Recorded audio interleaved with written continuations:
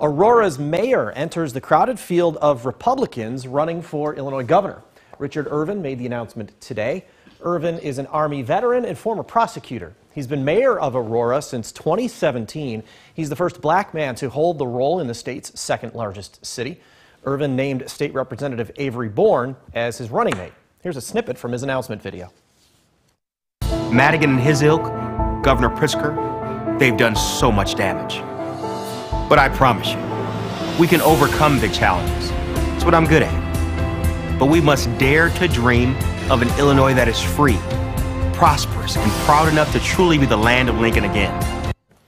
Irvin joins four other declared GOP candidates. That includes Darren Bailey, Gary Rabine, Paul Schimpf, and Jesse Sullivan.